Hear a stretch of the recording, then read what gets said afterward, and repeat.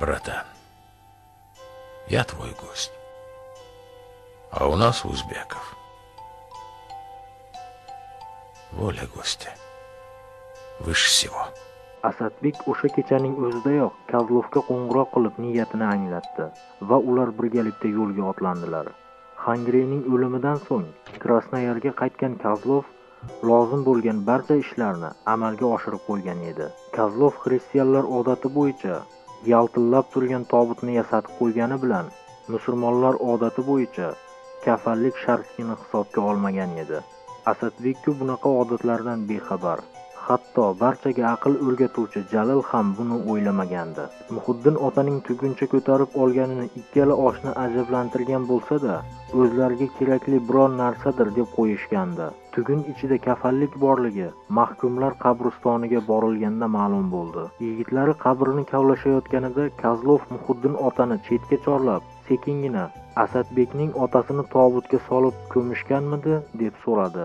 U paytlarning hojalari xalq dushmanlari deb xo'rlanayotgan odamlarni tobutga solib ko'marmidi? Xristianlar tobutsiz musulmonlar kafansiz va lahatsiz yotibdilar bu yerda. Muhiddin ota asadbekning otasini yuzini daraxt po'stlog'i bilan yopib xashak bilan kafallagan edi.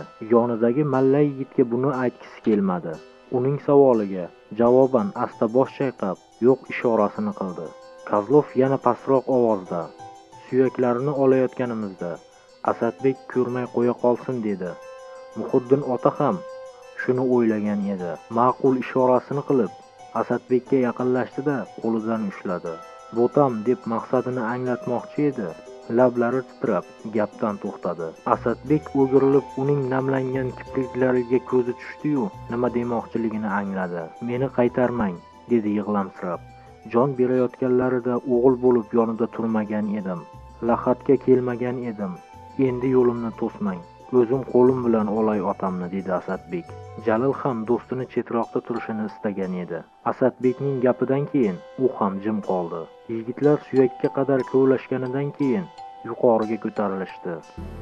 Братан, давай закончим игру. Играй.